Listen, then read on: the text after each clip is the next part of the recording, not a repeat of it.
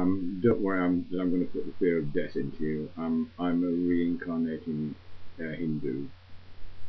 But I just want to look at the prophecy of mass unemployment in the Bible. If you want to know what a book's about, look at the beginning, look at the end, and then somewhere in the middle there's that pivotal point where the whole thing is explained. So let's do that with the Bible. Now, in the beginning, we're in the Garden of Eden, naked, walking around eating the fruit, and then we eat the fruit of the tree of life.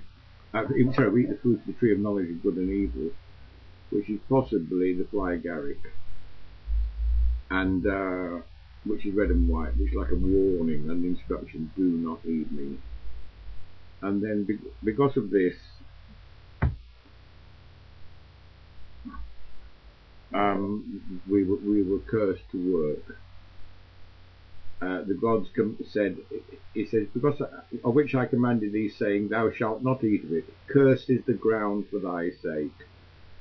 In sorrow shalt thou eat of it all the days of thy life. Thorns also and thistles shall it bring forth to thee, and thou shalt eat the herb of the field.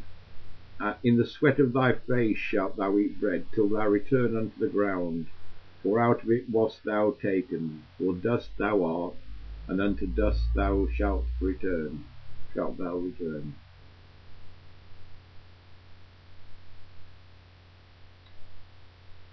And then the God said, He said, He's become the man is become as one of us to know good and evil, and now lest he put forth his hand and take also the tree of life and eat and live forever. Now this is normally understood, obviously, as living forever, but there are three forevers. Our ancestors are forever, the future is forever, and now is forever. Now in the normal understanding of forever, it's the future forever. It's, the future is forever. There's always going to be a future. But this isn't that. This is living for now, the the forever, the now, forever, forever now, eternity, in the moment. In other words, not working, having a holiday, just living for now, which is what this is is about. You know, the Therefore the Lord God sent him forth from the Garden of Eden to till the ground from whence he was taken, to make us work. So he drove out the man, and he placed at the east of the Garden of Eden cherubims, some sort of beings, and a flaming sword which turned every way to keep the way of the tree of life. In other words, you know, because we were ignorant and we didn't know anything, uh, and so we, like wild animals, we were kept away from the tree of life, from the ganja, by a flaming sword.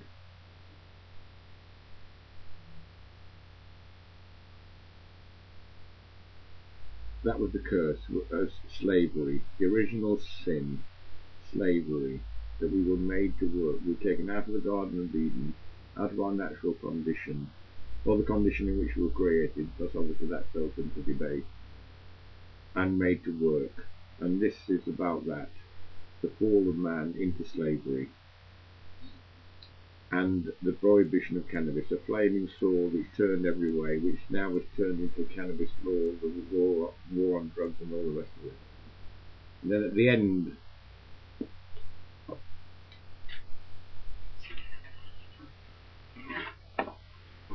Revelations,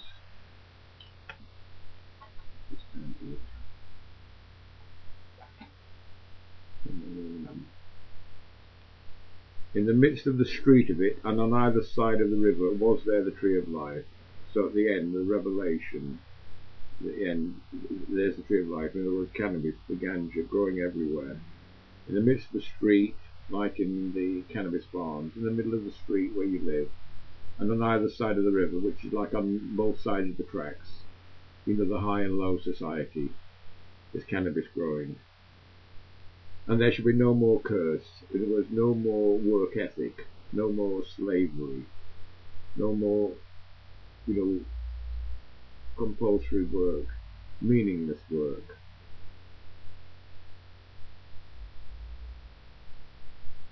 Now, how is this going to happen? You know, how is this going to happen? Well, we look where that the solution arises in Daniel chapter 2 Now in Daniel chapter 2, Nebuchadnezzar, the king of Babylon, is troubled. He has a nightmare that terrifies him, and he wants someone to interpret the dream for him. But the, the, the, the complication is he wants someone to tell him what the dream is and interpret it.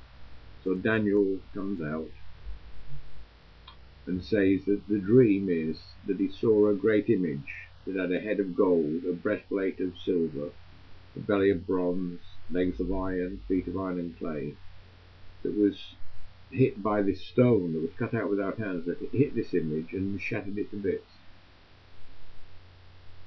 And Daniel said, what this means is that, you know, that you know, thou art a great king,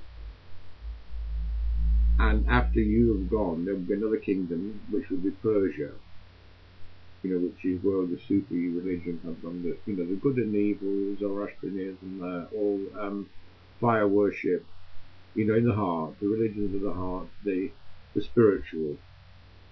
Then after the Persians came the Greeks, which was the reason, the law, the science, that sort of, uh, you know, understanding, democracy, and the rest of it, argument, debate, into the stomach of bronze. And then there was the legs of iron, which is Rome, which marched all over and trampled everywhere.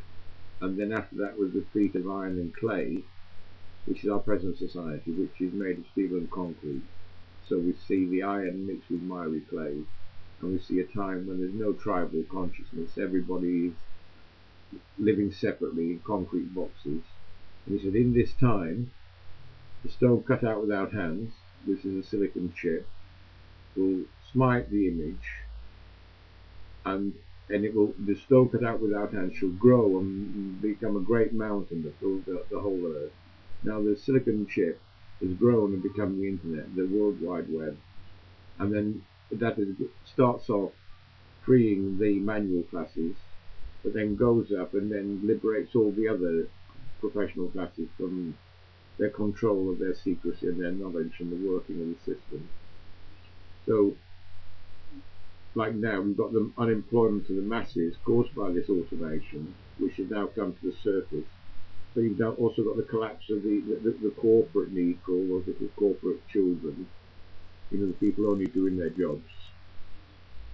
Um, they're all going to be computerized and uh, unemployed, and that's going to give a majority, rather than being able to put the, the feral males, the, the free-thinking, the, the growing males, rather than being able to imprison them for the ganja, they and the unemployed corporates are going to be smoking the ganja and the ganja is going to be legalized because they can all ganja charges all cannabis charges are malicious prosecutions and we all know. And the mass unemployment is here thanks to silicon chip